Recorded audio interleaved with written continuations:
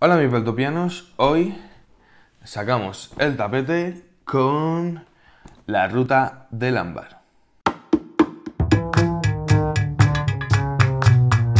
Pues sí chicos, estamos aquí con este Ruta del Ámbar, un juego de 2 a 4 jugadores para más de 8 años y de unos 45 minutitos.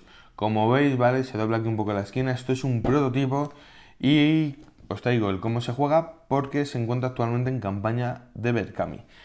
Ya lo habremos movido o habéis oído hablar de él por alguna de las redes, lo va a, lo va a sacar así que lo que vamos a hacer es enseñaros un poco la mecánica básica. Repito, va a ser un proto, eh, todos los componentes y todo estarán mucho mejor en la, en, en la producción luego. Así que nada, vamos a ver cómo se juega. Bueno chavales, pues como siempre vamos a empezar con la preparación, muy sencilla. Tenemos por aquí el oro que vamos a ir ganando y lo que nos dará la victoria. Aquí tenemos los guardias, gemas rojas, gemas azules, gemas amarillas. Aquí tenemos el mazo de eventos, aquí tenemos la carta de bosque, aquí tenemos el demonio del 5 y aquí tenemos el mazo de rondas.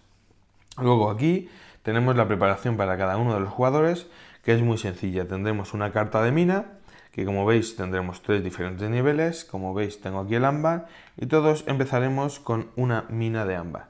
Luego tenemos una carta de alquimia, una carta de transportista y una carta de ciudad. Así que esta es la manera como empezaremos. Aparte, añadiremos tres guardias a cada jugador. Aparte, vamos a recibir una gema amarilla que estará en nuestra carta de alquimia. También recibiremos una carta de evento que colocaremos por aquí. Y recibiremos tres moneditas.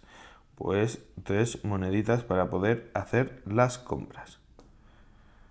Y con este despliegue podríamos empezar a jugar. Vale, el juego es muy sencillo. Vamos a utilizar la mecánica de Put Your Luck. Así que vamos a ver eh, primero la acción de días de ruta. Básicamente la idea del juego es que nosotros vamos a ir haciendo la ruta para la ruta del ámbar y las cartas que saquemos serán las acciones que podemos hacer, que ahora os explicaré. Entonces, como he dicho, la primera fase, días de ruta. ¿En qué consiste? Vamos a ir sacando cartas de este mazo de aquí y nos podemos encontrar varias cartas diferentes. Por ejemplo, esta carta es como esta de dorso amarillo y lo que nos va a permitir es una acción. Pues nada, seguimos sacando porque eh, tenemos opción de seguir sacando. Aquí tenemos otra, una segunda, es igual de color ámbar, de color amarillo, de color ámbar. Vamos sacando hasta, vamos a poner un ejemplo, que sale una carta negra. Como he dicho, cada carta que coloquemos en nuestra ruta lo que nos va a dar son acciones. Pero tenemos cartas de, fondo negro que lo que son son peligros que nos podemos encontrar durante nuestra ruta. Entonces vamos a contar varias cosas. La primera, cuando sale una carta negra tenemos dos opciones. La primera de ellas es utilizar, como veis, una espadita, gastar un guardia para descartar esta carta. Simplemente se descartaría el token, se descartaría la carta y podríamos seguir sacando más cartas de ruta. O por el contrario, podemos pagar su coste. Como veis, este ladrón lo que nos hace es quitarnos una joya de color rojo. En este caso no tenemos, pues nos quitará una joya de un color inferior, que en este caso sería azul, tampoco tenemos. Pero así hasta que nos podamos, podamos entregarle una joya. En este caso lo que vamos a hacer es pagarle una joya amarilla para poder seguir sacando cartas. Por ahora tengo cuatro acciones, incluida la negra cuenta como acción porque hemos pagado el coste de dicha habilidad y sacamos la quinta. Hay que decir que como máximo vamos a poder sacar siete cartas. Os explico, cuando sacamos la quinta carta, nuestro querido demonio del 5 se va a quedar a nuestro lado. Es decir, la próxima ronda que hagamos, si otro jugador no consigue llegar 5, nosotros empezaremos ya con una carta negra. Cuando saquemos la sexta carta, lo que vamos a hacer es robar una carta de eventos. Y si conseguimos sacar una séptima, nos cogeremos un guardia. Entonces, como máximo vamos a poder tener 7 acciones. Digamos que se va a quedar así, yo me planto aquí. ¿En qué me voy a basar para plantarme? En el número de 7 cartas como máximo que puedo jugar o en las cartas negras. Como máximo podemos tener dos cartas negras sobre la mesa. Si sacásemos una tercera carta negra y no podemos hacer frente con guardias para descartarla, al tener tres cartas negras hemos perdido la, la ruta, nos han atacado demasiado y todo lo que hemos conseguido se descarta. Al descartarse solo podremos hacer una acción. ¿De acuerdo? Entonces, por ejemplo, os vamos a enseñar más cartas. Esta, como habéis visto, son cartas de, peligro, pero con eh, te piden joyas. Esta es carta de peligro, no se puede defender, pero sí lo que hace es que eh, te permite mostrar o ver la próxima carta que vas a sacar, para saber si te interesa o no seguir arriesgándote. Esta carta de aquí eh, se puede defender con un guardia, pero si no la defiendes, lo que te hace es te obliga a sacar una carta más. Luego tenemos aquí otros de otro tipo de joyas, ¿vale? Estos son los peligros que nos podemos encontrar a través de nuestra ruta. Entonces, después de hacer nuestra ruta, de hacer nuestros días de ruta, cada carta es un día y cada día es una acción, pues pasamos a hacer nuestras acciones. ¿Cómo gestionamos las acciones? Como nosotros nos interese. Por ejemplo, una acción sería transformar nuestro ámbar en, en, joya. Como veis, solo tengo una mina. Con una mina me da un ámbar. Pues una acción sería un ámbar. O sea, una joya amarilla, perdón. Si tuviésemos dos minas, serían dos. Si tuviésemos las tres minas, nos produciría o tres joyas amarillas o un azul. Que lo que podemos hacer es, como segunda acción, es llevarlo al transportista, que directamente me lo lleva a la ciudad. Es decir, pasarlo del laboratorio de alquimia a la ciudad es una acción. Pero por ejemplo, como tengo seis acciones, va a hacer una producción, dos producciones, tres producciones, son tres acciones. Transportarlo, como puede llevar como máximo tres, sería otra acción, ya llevaría como cuatro y podría seguir produciendo. Esas son las acciones que podemos hacer. Cuando hemos acabado de gestionar las acciones como nos interese, pasaremos al comercio. ¿Cómo se comercia? Cuando se sacan las cartas de comercio. Es decir, si esta carta no estuviese, yo no tendría la opción de comerciar porque no me sale esa habilidad. El comercio no cuenta como acción si es la primera que haces en el turno. Si vas a hacer varias porque te han salido varias, esa venta sí cuenta como acción. En este caso, digamos que he gastado mis acciones y pasaría a vender, que es la siguiente fase, el comercio. Lo que vamos a hacer es fijarnos en las cartas, en el oro que nos va a dar cada tipo de joya.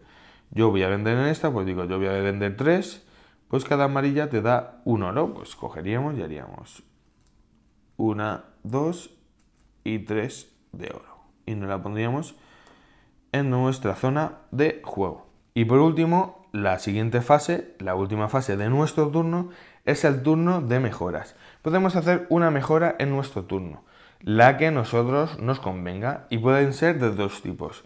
La primera mejora que podemos hacer es la más sencilla, que es en nuestra zona de juego, y es pagando el coste, en este caso dos monedas, podría poner a fabricar mi segunda mina de ámbar, pagando el coste. Descartaría dos y ya estaría. O puedo utilizar las cartas que me han salido para adquirirlas como mejora. ¿Cómo funciona? Muy sencillo. Aquí te dice qué tipo de carta es, es decir, esta supliría a esta y son tres monedas. Pues si pagase tres monedas, esta carta se vendría aquí y esta se descartaría. Lo que me va a hacer es producir de forma más eficiente. Con una mina me dará dos, de, dos joyas amarillas en lugar de una. Con dos de ámbar me da tres amarillas o un azul cuando antes me daba solo dos, ¿vale? Todos son mejoras. Este me cuesta dos monedas y se intercambiaría por mi transportista, porque tiene el mismo icono, lo que nos va a permitir en vez de transportar solo tres amarillas o un azul, puedo transportar hasta cinco amarillas o hasta dos azules o incluso una roja. ¿De acuerdo? Esta es igual que esta de alquimia y esta es mi ciudad. Aquí, como veis, me pone amarillo y azul y un 3, ¿Qué significa que solo voy a poder tener como máximo tres joyas en este lugar. Si yo me comprase por dos esa ciudad que tiene el mismo icono, cambiaría una por otra y me permite tener hasta 9 joyas y de cualquier tipo de color. Después de hacer mi mejora, si me interesa, pues digamos que voy a hacer, como he dicho, la mina. Esta joya de aquí se iría al bosque y todas se irían al descarte para utilizarlo posteriormente en la siguiente ronda. Y pasaría el turno al siguiente jugador y haría lo mismo. Iría sacando cartas hasta que decidiese plantarse. Mira, esta por ejemplo le permite ver, pues mira, es eh, de dorso amarillo, pues la juega, ¿vale? Va gestionando igual su suerte y va sacando cartas. Si llega a sacar 5 cartas, el demonio que me persigue a mí comenzaría a seguirle a él si saca 6, robaría una carta de eventos y si roba y consigue sacar 7, aparte cogería una ficha de guardián para defenderse en el camino. Iríamos pasando así los turnos. Lo único que me queda por explicar son las cartas de eventos, son estas de aquí. Pues por ejemplo, esta carta lo que te va a permitir es pasar el demonio de la ronda 2 a otro jugador. Este lo que te va a permitir es coger todas las joyas o todas las monedas que se encuentren en el bosque pero hay de muchos tipos. Te pueden dar guardianes, te pueden dar dos oros para cada joya que vendas. Eh, cuando alguien produzca le puedes eh, estropear la producción y quitarle tres joyas. Cuando van a transportar le quitas dos, ¿vale? Hay muchísimas, muchísimas cartas de evento. La idea es que iremos jugando turno a turno. Cuando este mazo se agote o queden menos de 7 cartas y el jugador decida pasar a la siguiente ronda, lo que vamos a hacer es coger las cartas del descarte, añadiremos el demonio de oro y meteremos las cartas de segunda ronda, ¿vale? Que como veis se necesitan más guardias, son más difíciles y tiene también, pues obviamente, mejores cartas. Se juntarán, se barajean y se hace una ronda juntando los dos mazos. Y teniendo en cuenta que en esta ocasión vamos a tener dos demonios, el de 5 y este demonio va a estar siempre en juego. Lo que pasa que va a estar en el jugador que más oro tenga. Va a estar siempre bailando. El final de la partida lo marcará nuestro mazo de días de ruta. Primero jugaremos los días de ruta del mazo 1 y luego la unión de los días de ruta del mazo 1 más mazo 2. Cuando los dos mazos se hayan agotado, será el final de la partida y veremos quién, quién es el vencedor. El ganador de la partida será el que acumule más oro. Pues ya lo habéis visto, chavales, es un juego muy sencillo, es un Your Luck, pero con un plus. Ese Your Luck, dependiendo de lo que te juegues, así tendrás de acciones. A mí es un juego que me mola bastante. Sí es cierto que cuando lo jugué me recordó un poco al Port Royal con esa, ese mecanismo de ir sacando las cartas, pero me mola más por el hecho de, bueno, yo saco las cartas, me la juego porque sí, ya está tienes que tener un poco más de control porque esas acciones, esas cartas que tú saques son las acciones, el número de acciones que vas a poder hacer en tu turno. Así que me mola mucho este juego. Se puede jugar con cualquier persona, si juegas con persona no jugana será un poco más tirando al push your luck, si juegas con una persona que sea del mundillo, pues tirará más esa gestión de acciones, a gestión y creación de, de joyas con el ámbar. Deciros que está casi financiado ya, le quedará poquito, un par de cientos de euros como mucho. Y que el ámbar que estáis viendo aquí es ámbar natural y se, entregará a los mecenas. Es una de las cosas, uno de los detallitos que van a tener con los mecenas del juego. Además, tuve la oportunidad de probar el juego en Granollers. Estaba allí, estuve jugándolo y me moló bastante. Hablé con, con, con el chico de Invedas para, para, que si tenía algún proto para poder sacarlo en el canal. Ya sabéis que nos encanta sacar protos. Así que aquí lo tenéis. Vuelvo a decir, espero que os mole. Aquí abajo ponemos el link en la descripción para que le echéis un tiento y os metáis en la campaña. Así que nada, chavales, espero que os haya molado el vídeo y nos vemos en el próximo vídeo de mi Peltopía. Hasta luego. Y las redes también, ¿eh? Las redes por aquí. Seguidnos en todas.